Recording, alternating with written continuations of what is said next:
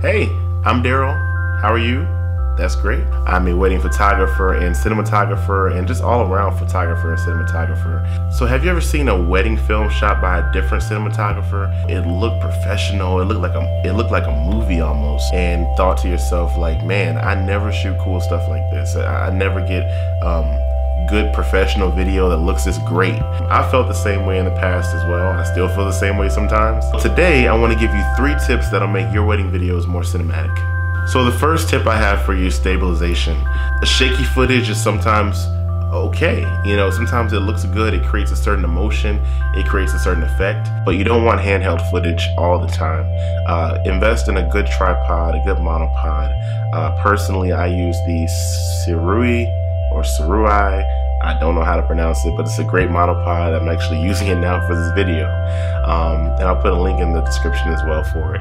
But invest in a good tripod or monopod. That can make the difference and really help you get nice, stable, clean looking footage. Second, I want to talk about composition. Uh, composition is so important and there's many there's so many good youtube videos on composition. And if you're a movie buff like myself i would definitely recommend a specific youtube video. I can't think of the name of it but i'll put the link in the description for that as well. It's a great video. Look for opportunities to frame uh, your subject of what you're shooting be it the wedding cake be it a person or people talking. Uh, look for opportunities to put them within their own frame within the frame. Uh, it may be an open window. It might be a doorway. But look for unique perspectives and unique frame uh, unique ways to frame your subject subjects within the frame. Uh, it definitely draws the eye uh, of the viewer. It helps to, to make you stand out as a filmmaker and it helps you to be more unique. Also, along with composition, uh, perspective. Um, change your perspective a little bit. I'm, I'm, I'm really tall, I'm like 6'2", and when I first started out, I would video everything from my, from my eye line. So basically, every video you saw was from my point of view. Uh, a six foot guy looking down on everybody because everyone's like five foot something. So you, you're looking at the top of people's heads all day. Um, change your perspective. Uh, lower your camera, raise your camera. Here's a shot I composed looking down a hallway with uh, picture frames and people walking back and forth. But notice how it changes a little bit when I lower the camera. Um, it's a different perspective and it's something that a lot of people might not necessarily see in real life. So you're actually giving people a view into a perspective they don't normally see, which will make your video much more interesting to watch. Uh, you can even lower the camera camera down to surface height in line with a table or a chair and get a very get, a really unique perspective um, on a person.